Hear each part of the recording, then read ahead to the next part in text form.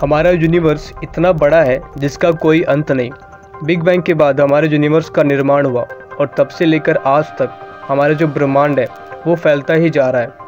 हमारे यूनिवर्स में अरबों खरबों स्टार कॉमेट्स और प्लैनेट्स मौजूद हैं और हम रहते हैं इस डॉट वाले हिस्से में, जो है हमारी पृथ्वी। उस पृथ्वी में भी सेवेंटी वन परसेंट पानी है और बाकी बचा ट्वेंटी नाइन परसेंट हिस्सा लैंड है, जिस पे हम रहते हैं।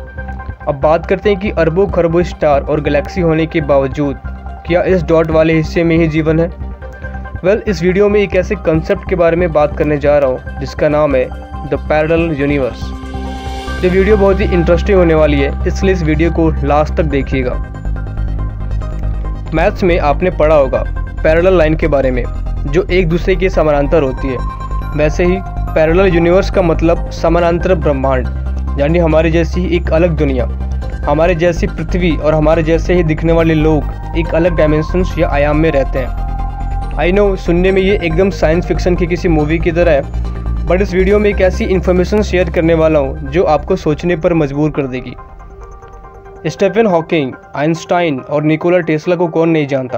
कहते हैं, इनकी कई सारी थ्योरी ऐसी हैं, जो इन्होंने बहुत साल पहले प्रोडिक्ट किया था। और आज उनमें से आज कई सारी चीज़ें सामने आ रही हैं। उनमें से एक ब्लैक होल थ्योरी भी थी, जो आज सच साबित हुई। ऐसी ही एक थ्योरी है इटर्नल इन्फ्लेशन थ्योरी जो एलन गुथ के द्वारा दी गई थी, जो डायरेक्टली पैरल यूनिवर्स होने का सबूत देती है। और दूसरी, जिससे प्रूफ होता है कि पैरल यूनिवर्स एग्जिस्ट करता है, और वो है द हजनबर्ग अनसर्टनिटी थ्योरी इसके अनुसार एक इलेक्ट्रॉन्स एक समय में कई स्थानों पर मौजूद हो सकते हैं। और आपको बता दूँ कि ये पूरा यूनिवर्स इवन हम इंसान भी इन इलेक्ट्रॉन्स और प्रोटॉन से बने हैं। तो हमारे भी समानांतर ब्रह्मांड में एग्जिस्ट होना काफ़ी हद तक पॉसिबल है। और ऐसे ही क्वांटम फिजिक्स के कई सारे प्रूफ्ड एक्सपेरिमेंट समानांतर ब्रह्मांड होने का सबूत देते हैं। समानांतर ब्रह्मांड में हमारे जैसी ही एक अलग दुनिया, हमारे जैसी एक अलग पृथ्वी और हमारे जैसे दिखने वाले लोग होने का एक्सपर्ट दावा करते हैं। और वो ये भी कहते हैं कि हो सकता है कि वहाँ हमारे जैसे दिखने वाले लोगों की उम्र बड़ी या छोटी या फिर प्रोफेशन डिफरेंट हो सकता है। एक ऐसे ही घटना जिसने पूरी दुनिया को हिला के रख दिया। जुलाई 1954 Japan Tokyo international airport. Normal दिनों की तरह सारी फ्लाइट्स और पैसेंजर्स आ जा रहे थे। दोपहर के समय यूरोप से आई एक फ़्लाइट वहाँ लैंड हुई और सारे पैसेंजर्स अराइवल पे चेकआउट कर रहे थे। चेक इन काउंटर पर एक अधिकारी ने एक पैसेंजर का पासपोर्ट चेक किया और चेक करने के बाद वो दंग रह गया। क्योंकि उस पासपोर्ट पे जो कंट्री का नाम था, वो कंट्री धरती पे एग्जिस्ट ही नहीं करती। और उस कंट्री का नाम था टॉर्ड